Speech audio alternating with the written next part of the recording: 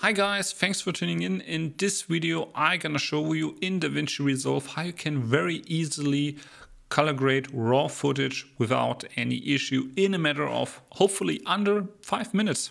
Coming up. Hi guys, my name is Paul, I'm a German filmmaker and this channel is all about filmmaking gear reviews but also DaVinci Resolve tutorials, so if that's something that you're interested in, consider subscribe. Here we are to the color page of DaVinci Resolve and I have a clip of a red Komodo, but yeah, basically raw is raw, so um, I make that that you can follow along very easily. First of all, with every time when you're working with RAW you want to denoise it because the sensor or the camera does not apply any noise reduction which the camera always does when you film in ProRes or like a normal uh, picture profile. So you're gonna go into noise reduction here.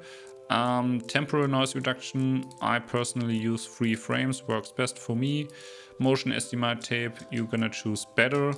And then here in this scene it was daylight, um, it's pretty manageable, so um, around 10 should do the trick.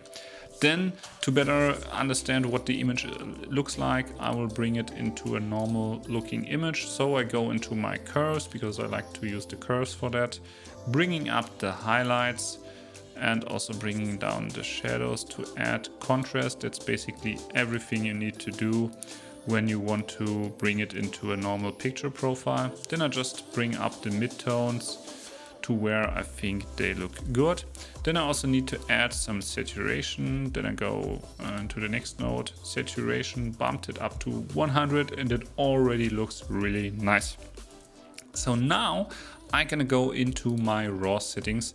Basically with red, I could have done it here inside um, the color space, but that's, that's not always the same with other cameras.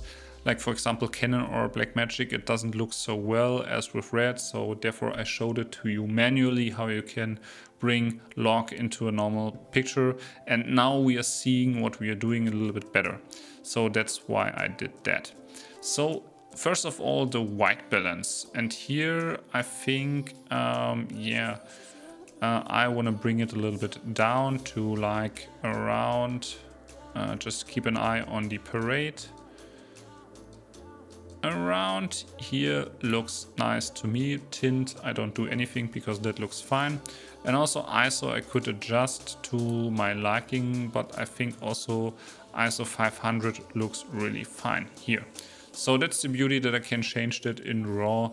Um, everything else I don't touch at this point. So now I'm gonna color grade my footage. So um, I basically add a layer node by option L and in the lower node I will mark my skin tones something like that so now I'm seeing what I'm doing so here I have already skin tones and I will soften that up and I think also if the head gets a little bit off that. I think it's not too bad. Uh, also a little bit of the shadows here, just a little bit. And I will blur, blur it a bit, clean it, denoise it, and that's good to go. Now in the upper node I'm gonna create the look for the background and I want to have an orange teal look.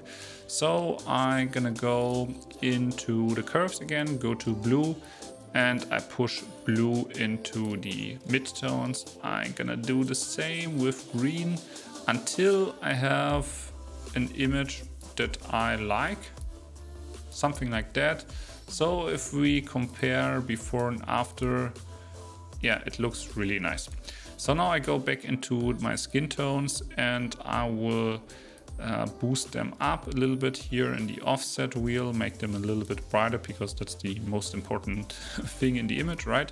So in the gamma, I will bring it a little bit more to orange. The gain ever so slightly, I will push it more to the blue because also the skin is affecting by the surroundings. So therefore in the highlights should be a little bit blue as well. And the shadows I make more red. Then in the Next node, I will just make some fine adjustments here, color boost a little bit up to my liking. And actually I like this image a lot.